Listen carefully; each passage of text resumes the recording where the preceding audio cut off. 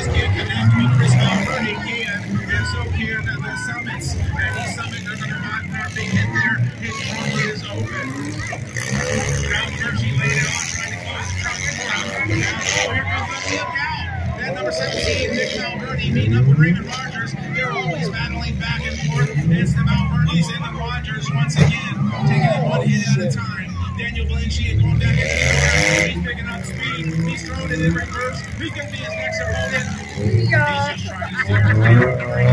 Rogers in front of the arena. Look out. Malverde. And it goes. Oh, my goodness. Folks, I can't keep track of it all. It's happening all over the place. We got debris flying everywhere. We got pieces all over the arena. Let's see if we can break loose off that debris. And hopefully it's not a for these other drivers. Andy Summit, number five, meets up with Chris Malverde. Look out, Ray Rogers looking to get some revenge there, and he does. Leonard Russell, number 99, Summit. He gets back by number five. Andy Summit. Daniel Valencia, number 69, just gets the same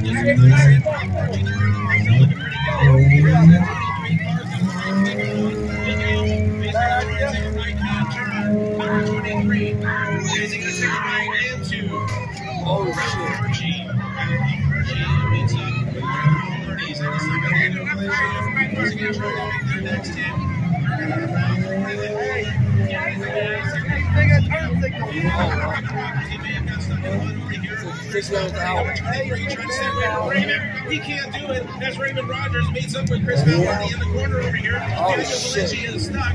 Number 136, John Patton.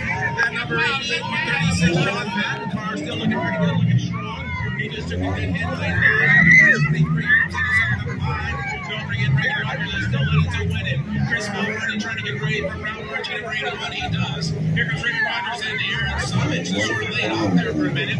That's okay, he's picking his next hit as John Patton tries to lay it on, and he found Chris Malverde in the corner. It looks like he was going to go for Raymond Rogers in the next 40 yard, but he gets puts it in forward and sees what he can do. I think he's going to try and meet up with one of the other ones that's still running here. He's still running. Sounds like the throttle stopped.